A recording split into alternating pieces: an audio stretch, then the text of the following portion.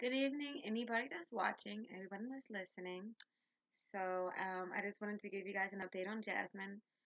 She's still recovering from the surgery, but she's doing great. Um, every, everything's going great. So, um, I wanted to share some news with you guys.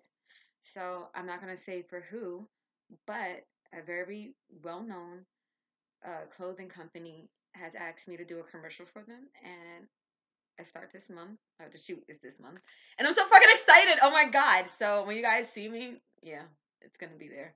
You'll know it. Trust me. So I'm excited. I wanted to share my happiness with you guys. The baby's doing great. Matthew's doing great. Everybody's happy.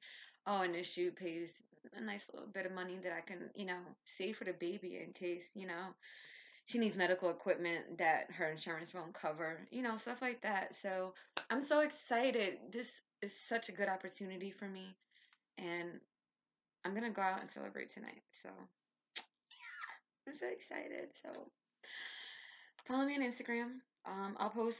I changed my Instagram name again, so I'll post what my Instagram is, and I'll keep you guys posted. So